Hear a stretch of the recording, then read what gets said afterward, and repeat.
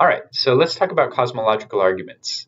Notice that uh, you know I have the the s on, on the end in parentheses uh, because there really are multiple arguments um, and throughout history, um, not just a single argument. It's more like a family of arguments.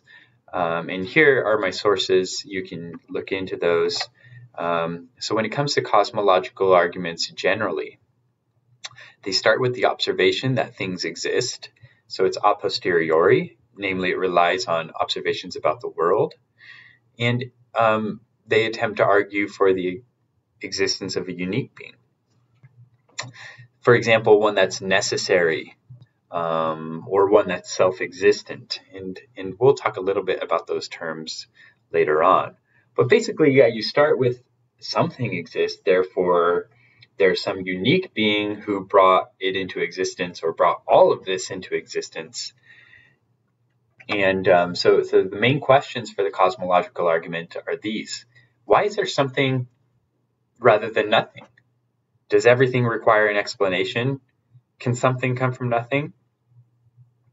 So I remember being a kid and thinking, uh, what what is nothing like, and, and, having a really hard time with that, uh, and uh, picturing black, but thinking no, that that's still something. Picturing white, and no, that's still something.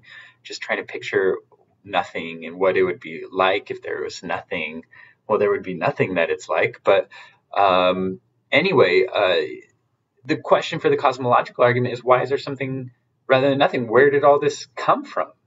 So here you have the universe, right? Star, starry night or a model of the universe, and you wonder where where did the universe come from? Okay, does everything require an explanation? If so, then you're driven to something like uh, a unique being. I think um, but if not everything requires an explanation, then you can have, so to speak, uh, brute facts, facts that go without explanation, facts that have no explanation. For example, uh, the universe is just there, and that's all. Uh, that's what that's what Bertrand Russell said. Uh, can something come from nothing? Uh, maybe the universe isn't just there, you know, ha- hasn't just been there for all of eternity. Maybe it popped into existence out of nowhere, um, from nothing, with no explanation, right? So here, imagine like first there's nothing, like literally nothing, not Lawrence Krauss nothingness, um, but actually nothing, and then boom, you've got this, right? Just an explosion and um, you get something from nothing. Is that possible? What's what's the most reasonable thing to believe that you can or that you can't get something from nothing? So, what do you think? Uh, can we get something from nothing? I, would like to hear your your thoughts on that. Um, and I think the answer that you give to that question um, largely uh, will tell you whether you, are going to think the cosmological argument uh, um, is successful or not, or or at least the kernel uh, uh, uh, kernel of um, truth or or the um, core of the cosmological argument.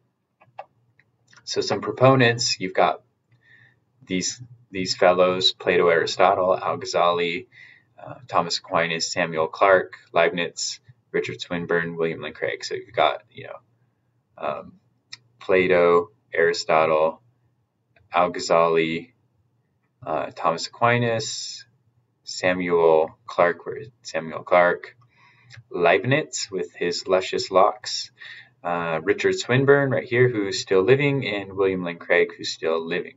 And we'll talk a little bit about William Lane Craig later on with his Kalam cosmological argument. So some opponents, um, David Hume, a giant when it comes to Western philosophy, Immanuel Kant, um, and Bertrand Russell, a 20th century atheist. I already quoted him earlier in the lecture. The universe is just there, and that is all. So, when it comes to cosmological arguments, uh, we can distinguish between, uh, in the wording of William Rowe, uh, self existent beings and dependent beings, or in the wording of Samuel Clarke, uh, more like it. so self-existent being is uh, uh, okay. So so a couple of things that it's not it's not a being that brings itself into existence. That's nonsense. That nothing can bring itself into existence. That involves a contradiction. Um, because in order to bring yourself into existence, you have to exist prior to your existence. Um, so prior to your existence, you both exist and you don't exist, um, which is a contradiction. And when I say prior, I don't necessarily mean temporally prior, maybe logically prior. Okay. Um, so, so that's not what we're talking about when we mean self-existent being, when we when we refer to a self-existent being. And it's not simply an eternal being that does not exist by the causal activity of some other beings. So when Bertrand Russell says the universe is just there and that's all, he's talking about the universe as an eternally existing thing um, without any cause.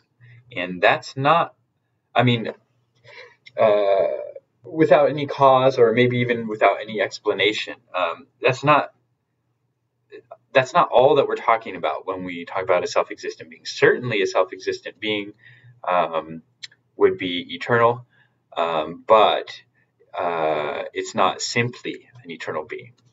We mean um, that the being exists by an absolute necessity originally in the nature of the thing itself. So it exists according to its own nature. There's something about its nature that entails uh, that it must exist, right? And this is Samuel Clarke's kind of um, wording here. So um, it's not simply an eternal being that's just there, it's a being that exists by the necessity of its own nature.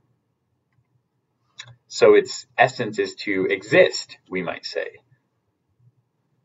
What is a dependent being? It's something that is produced by another, in the words of Samuel Clarke, a being that is produced by another. So, examples me, you, uh, the Statue of Liberty. Unless I'm talking to uh, a self existent being here, I think you are dependent. Mount Everest, black holes, pencils, rocks, bacteria, dolphins, Justin Bieber, feathers, jambalaya, your mama, crocodiles, asteroids, etc. These are all dependent beings um, beings that are produced by another. All right. Um, and so the self existent being was not produced by anything. It exists out of necessity of its own nature. But you and me, we came from somewhere. For example, me, you know, I came about through the causal activity of my parents. Don't want to go into too much detail there. And, you know, here I am. I haven't always existed. Um, even if I've always existed, it doesn't mean I'm self existent. Um, is it part of my nature to exist, or do I just exist and that's all? Um, so, to exist by the causal activity of another is to be dependent, um, and to exist by the necessity of your own nature is to be self existent.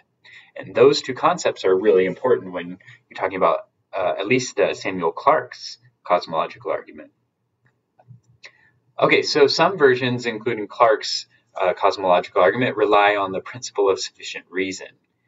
What is the principle of sufficient reason? Um, well, uh, here is a quote from Samuel Clarke. Um, whatever exists has a cause, a reason, a ground of its existence, a foundation on which its existence relies, a ground or reason why it does exist rather than does not exist, either in the necessity of its own nature and then it must have been of itself eternal, or in the will of some other being, and then that other being must, at least in the order of nature and causality, have existed prior to it. All right, so anything that exists has a reason why it exists rather than not, has a cause of its existence or a ground of its existence. All right, there's going to be some sort of explanation for why it exists rather than not.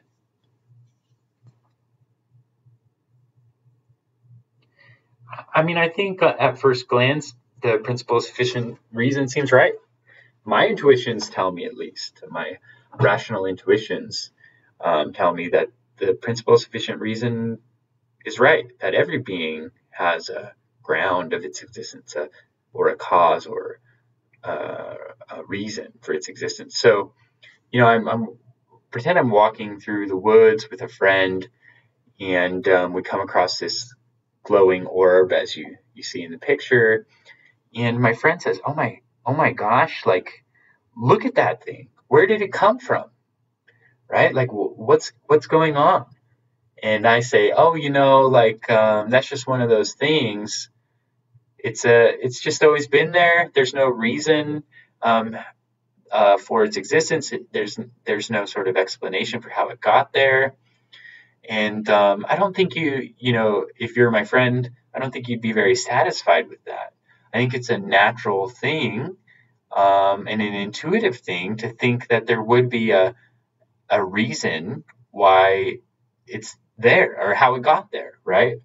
Um, uh, a, a reason how uh, for how it got there, or a, a cause of its existence, um, or an explanation.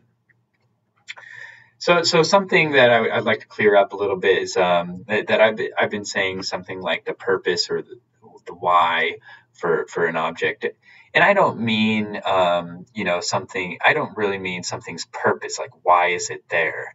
Um, I mean how. I don't mean why. I mean how. How did it get there? what's responsible for it. I don't mean why in the sense of what is its purpose for existence, right? Okay, so principle of sufficient reason doesn't say that everything has a purpose for its existence. It says that everything has an origin or explanation of its existence.